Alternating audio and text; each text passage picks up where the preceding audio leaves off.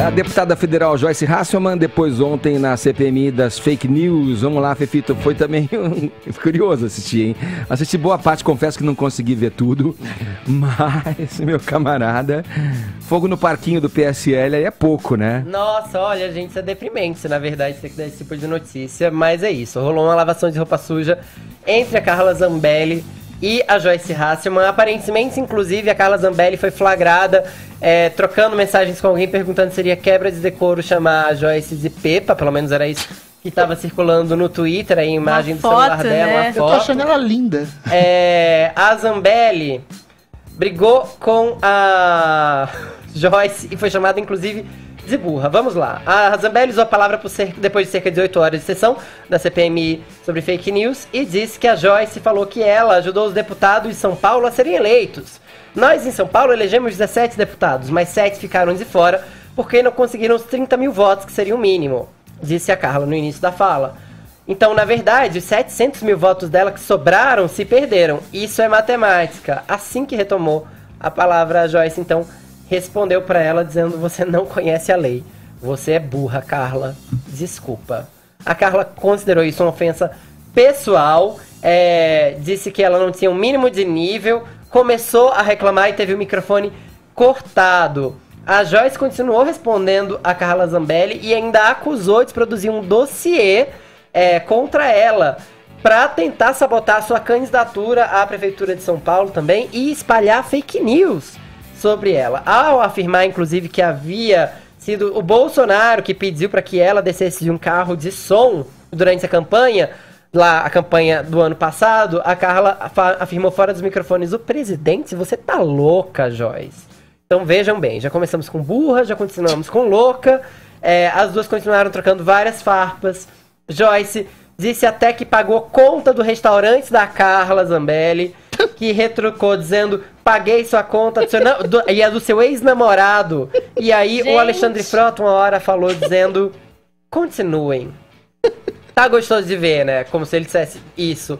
E aí um outro sábio, o Ângelo Coronel, um senador do PSD da Bahia, soltou essa grande lábia aí, essa grande frase, só que não, dizendo, eu imaginava que só no Nordeste tinha essas guerras, mas estou vendo que em São Paulo é ainda pior. Essa sessão ainda teve direito a um bolo do Alexandre Frota, um bolo- de aniversário com vela acesa, pelo um ano do, ca- do caso Queiroz. É, a Joyce ainda disse coisas a Carla Zambelli, como quem me perguntou se você era prostituta Meu Deus. foi o presidente.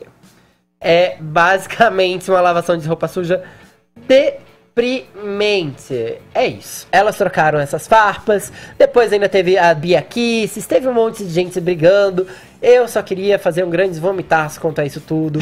E apelar para o Conselho de Ética trabalhar, que não vai trabalhar, só para variar. Vai ficar todo mundo de boinha, continuando a fazer seu barraco e sem honrar o povo que lhe votou. Ô, ô Fefito, você trouxe essas questões aí de folhetim, digamos assim, né? Da- é. dessas, desses embates ali na CPMI das fake news envolvendo a Carla Zambelli, do PSL e a Joyce Hasselman É, também. Esqueci um adjetivo. A Joyce chamou a colega de abortista em um tweet. Agora, bom, é, outras coisas foram, foram colocadas ali, como é, explicitando ações do tal gabinete do ódio que funcionaria dentro do Palácio do Planalto, com a anuência do, do presidente Bolsonaro.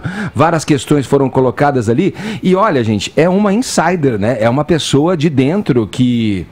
É, não vou cometer nenhuma leviandade aqui, mas possivelmente se lançou mão desse tipo de, de, artifício também é, durante um tempo, enquanto foi conveniente, e, e agora denuncia tudo isso porque está sendo execrada pelo bolsonarismo raiz ali. Importante, inclusive, dizer que, ó, quando a Zambelli abandonou a sessão, a Joyce Hasselman disse que eram mentiras digna- dignas de uma psicopata saindo da boca dela. E a Joyce levou um PowerPoint pouco mais feio, mas mais elaborado do que aquele PowerPoint que a gente conhece, famoso da Lava Jato, é, mostrando como se dava o processo e quais perfis divulgavam fake news a mando do Eduardo Bolsonaro. Isso, esse, isso. esse PowerPoint, inclusive, começou a circular ontem. E mencionando, Adriles, é, uma rede de 1 milhão e 800 mil, é, é, uma rede digital de 1 milhão e 800 mil perfis é, do, do presidente ali, com, com os filhos atuando também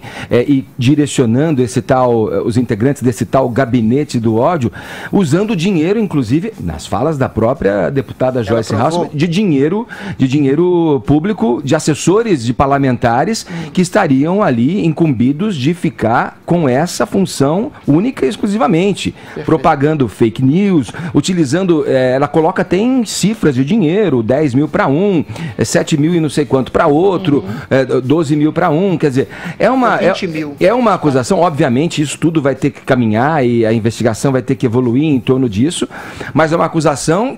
É, no meu entender, crível, porque é alguém que está dentro ali, ressentido ou não, ela está jogando ali no ventilador tudo que ela enxerga de errado que vem acontecendo nesse linchamento pelo qual ela passa. Se eventualmente, eu acho que o ressentimento é uma variável uh, total e absoluta nesse caso, porque se eventualmente ela via isso e compacta, compactuava com isso, ela é tão leviana e corrupta. Sob pena de pagar na lei? Aquelas que eventualmente ela acusa, acusa agora e com, a, com os quais ela andava e se incorporava como grupo. Eu acho que dizer que existem robôs que acionam movimentos engajados não quer dizer muita coisa, Edgar. Eu acho que o Bolsonaro, assim como o PT no passado, eles têm eleitores viscerais entendeu? Engajados, que respondem uh, por 20%, 30% da população. E isso é muito uh, perceptível de manifestação dentro da internet, mas eles se comportam inexoravelmente como uma espécie de matilha, como eram os eleitores do PT e do Lula, ainda são, de certa forma, que são outros 20%, 30%. Então eu acho que isso é muito irrisório, essa coisa de negócio de robô, de incitar mensagem negativa ou perseguição. Essas coisas acontecem de maneira muito mais orgânica do que pode imaginar a possibilidade de uma manipulação virtual. Uh, o Bolsonaro teria, segundo ela, um milhão de robôs, né? De um total de 5 milhões de seguidores. Ah, tem os 4 milhões que o seguem visceralmente como matilha de Milhões seguidores de fiéis. O gabinete do ódio que ela acusa exatamente se contrapõe ao gabinete do ressentimento e da vingança dela, que é uma variação do ódio por ter sido alijada do posto de líder da Câmara, de ser alijada de amiga do, do presidente, filha, como ela falou, postiça do presidente. E agora ela vem falar. Realmente eu acho que isso diminui muito depois depoimento dela nesse sentido. Orquestrar esse ataque de fúrias uh, contra traidores do Bolsonaro é algo a ser reprovado moralmente sim, com certeza, e ser investigado nesse sentido, se houver dinheiro público. Porque até agora o que Essa há é, é gente, agentes do Estado que não necessariamente usam de dinheiro público para fazer isso, mas são pagos pelo, pelo, pelo erário público e fazem isso de maneira independente por organicidade e fidelidade canina ao presidente. Eu acho que, no fim das contas, essa CPI, sinceramente, está se transformando num circo uh, patético, numa novela mexicana, assim como foi a cena do Mamãe Falei, uma novela mexicana uh, dublada pelo SBT, de de, de, de, enfim.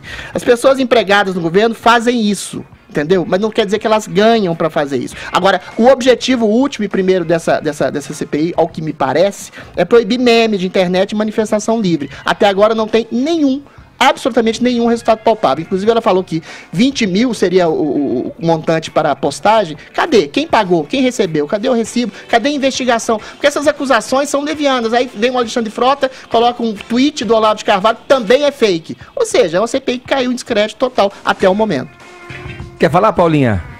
Ai, tá tão louco que eu quero ficar mais quieta. Teve um embate com a Bia Kisses também ali, né? É, Durante o um momento que você se retirou antes, né?